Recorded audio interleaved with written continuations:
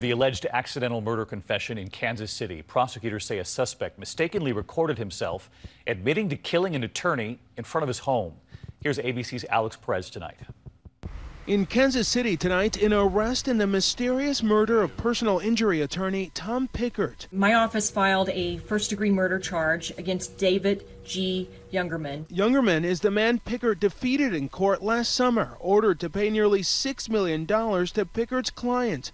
One of two men Jungerman shot, claiming they broke into his warehouse. They charged at me, put me in fear for my life. I had no choice but to shoot him. Pickert was gunned down in his front yard last October. Suspect was in a white van with no back window. Police questioned Jungerman, who owned that van, but released him.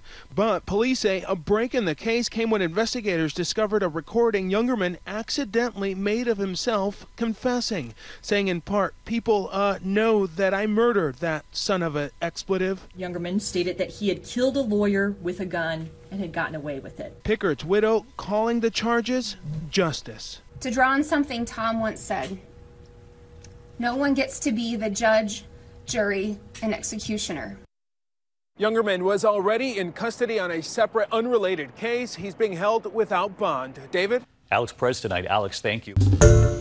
Hi, everyone. George Stephanopoulos here. Thanks for checking out the ABC News YouTube channel. If you'd like to get more videos, show highlights, and watch live event coverage, click on the right over here to subscribe to our channel. And don't forget to download the ABC News app for breaking news alerts. Thanks for watching.